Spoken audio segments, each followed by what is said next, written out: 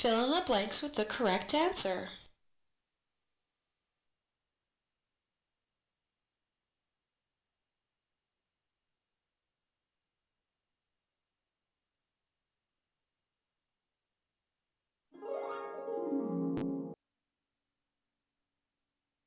Add these numbers.